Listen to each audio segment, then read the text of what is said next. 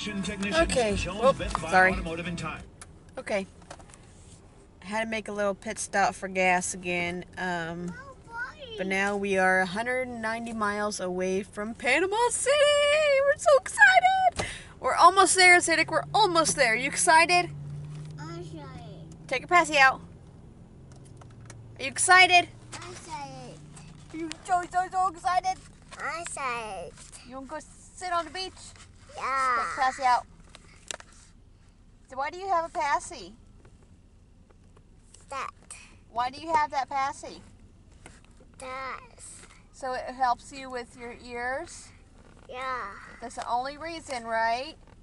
Right.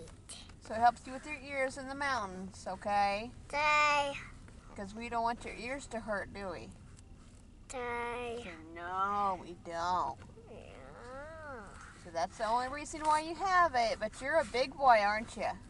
Yeah. Do you normally need passies? Yeah. No, you don't.